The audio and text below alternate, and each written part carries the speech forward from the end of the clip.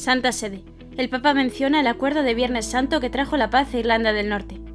Al finalizar el rezo del Regina Cheli de este lunes de la octava de Pascua, el Papa Francisco recordó que se cumplen 25 años del llamado Acuerdo de Viernes Santo o de Belfast.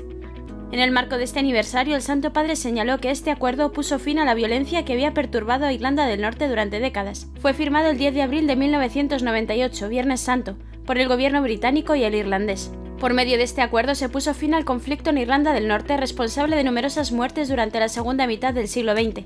Este conflicto armado había enfrentado a los unionistas de Irlanda del Norte, partidarios de mantener la conexión con el Reino Unido, con los republicanos irlandeses, en su mayoría católicos que defendían la integración del territorio en la República de Irlanda. Con espíritu de gratitud, el Papa Francisco rogó al Dios de la paz que lo conseguido en aquel histórico paso se consolide en beneficio de todos los hombres de la isla de Irlanda.